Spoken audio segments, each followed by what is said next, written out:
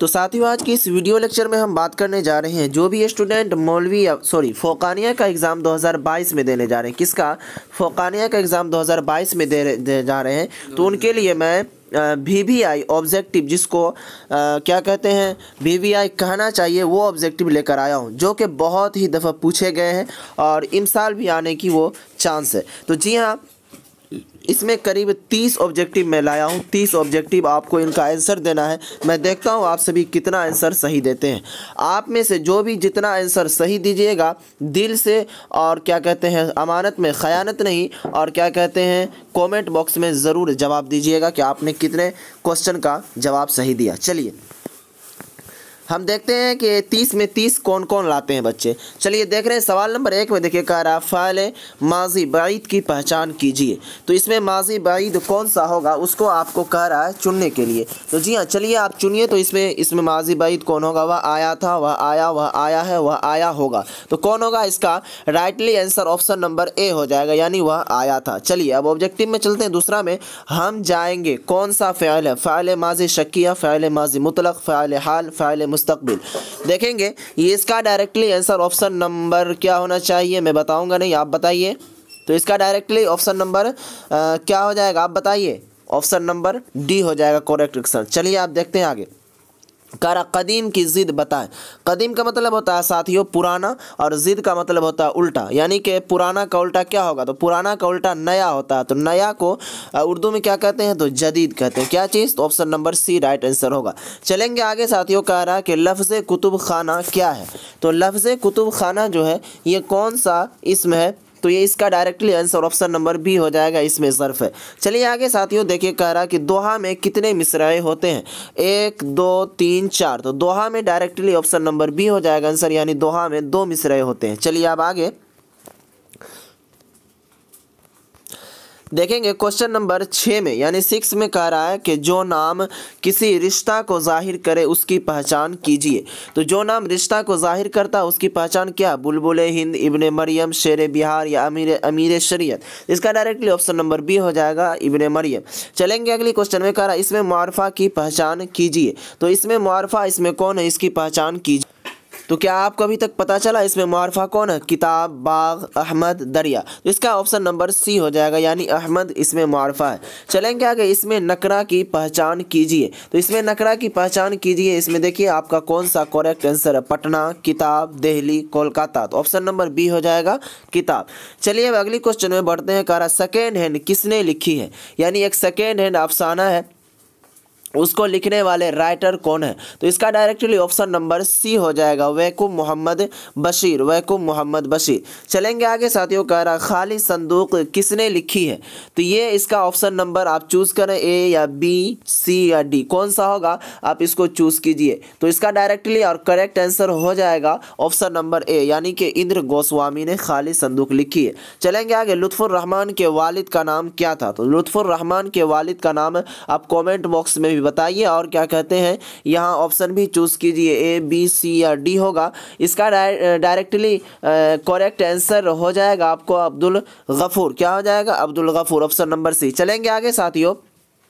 कह रहा है कि मिर्ज़ा शौक कब पैदा हुए? यानी मिर्ज़ा शौक की पैदाइश कब हुई? तो इसका ऑप्शन नंबर डी हो जाएगा, यानी सत्रह सौ तिरासी ईस्वी में। चलेंगे अगली क्वेश्चन में। साथियों, कह रहा डॉक्टर मोहम्मद मोहसिन के वालिद का नाम क्या था?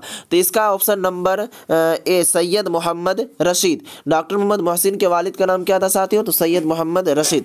चलेंगे अगली क्वेश्चन की जानब। कह रहा कमर जहाँ का ताल्लुक बिहार के किस ज़िला से? दरभंगा, समस्तीपुर, मुजफ्फरपुर, भागलपुर।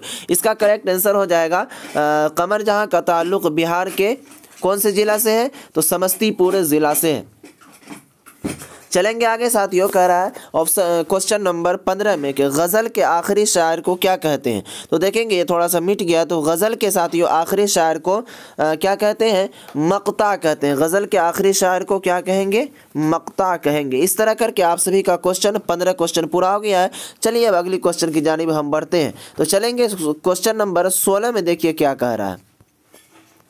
तो साथियों, अगर आपने अभी तक वीडियो को लाइक नहीं किया तो वीडियो पसंद आए तो लाइक ज़रूर कीजिए। चलिए आगे क्वेश्चन नंबर सोलह को देखिए और आंसर देने की कोशिश कीजिए, कह रहा निदा फाजली की पैदाइश कहाँ हुई? तो निदा फाजली की जो पैदाइश हुई थी, साथियों, कहाँ हुई थी, इसका चुनिए।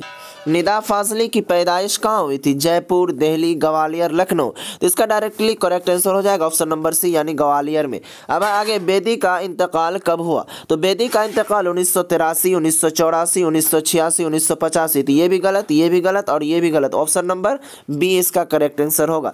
चलेंगे आगे, कर अहमद फराज किस यूनिवर्सिटी में किस यूनिवर्सिटी में लेक्चरर थे? थोड़ा मैं भी जबान तुला जाता है तो इसके लिए सॉरी क्या कर अहमद फराज किस यूनिवर्सिटी में लेक्चरर थे? तो इसका डायरेक्टली ऑप्शन नंबर ए हो जाएगा पेशावर यूनिवर्सिटी में। चलेंगे अगली क्वेश्चन की जानब कर। जगन्नाथ आज़ाद की कौन सी नज़म आपके निसाब में शामिल है? बिजली का खम्बा या फिर आ, इंडिया गेट या फिर इसका करेक्ट आंसर क्या हो जाएगा? मुनाजिर कुदरत या फिर खरा डिनर इसमें से चूज़ कीजिए कौन सा।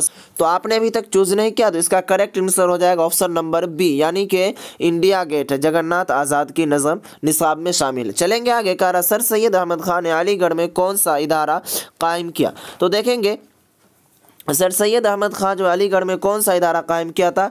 Muslim university. इसको अलीगढ़ मुस्लिम यूनिवर्सिटी बोलते हैं। चलेंगे आगे का रहा साथियों। फ़रार किसका अफसाना है? सैयद मोहम्मद मोहसिन, निगार आज़ीम, कमर जहाँ या फिर शकील अख्तर? देखेंगे, ऑप्शन नंबर डी तो होगा नहीं। तो फ़रार किसका अफसाना अब इस तीनों में चूज़ कीजिए तो आप डायरेक्टली मैं देखता हूँ आप कितने का आंसर देते हैं। तो साथियों, इसका डायरेक्टली आंसर हो जाएगा ऑप्शन नंबर सी भी नहीं होगा ऑप्शन नंबर बी भी नहीं। तो इसका directly answer option number A यानी सैयद मोहम्मद मोहसिन। चलेंगे आगे साथियों का अदब की पहचान के मजमून निगार कौन है? तो अदब के जो पहचान है, उसके मजमून निगार कौन है? हकीमुद्दीन। ये तो होगा नहीं। उसके बाद अख्तर और अनवी ये भी नहीं होगा। आपको इस दोनों में चूज़ करना है कि इसका कौन सा करेक्ट आंसर होगा। तो देखेंगे साथियों, अदब के पहचान के मजमून निगार कौन है? ऑप्शन नंबर बी हो जाएगा अब्दुल मुगनी। चलिए साथियों, अब आगे बढ़ते हैं। कारा कमर जहाँ का कौन सा अफसाना शामिल है? यानी कि निसाब में कौन सा अफसाना शामिल है? कमर जहाँ का। अजनबी चेहरे, चारागर, कटी हुई शाख या याद नगर। तो देखेंगे, कमर जहाँ का जो हो जाएगा, ऑप्शन नंबर मुझे तो लग रहा है ऑप्शन नंबर, अब मैं बता दूँ क्या? तो directly correct answer option number C हो जाएगा। चलिए अब आगे बढ़ते हैं। कह सिराज और इरफाना किस अफसाना के किरदार हैं? इसका आंसर आप दीजिए तो मैं तब तक खामोश हूँ।